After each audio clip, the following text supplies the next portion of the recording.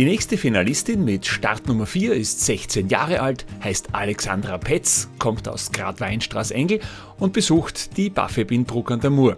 Sie spielt Gitarre und liebt alles, was mit Musik zu tun hat. Hier kommt ihr Song.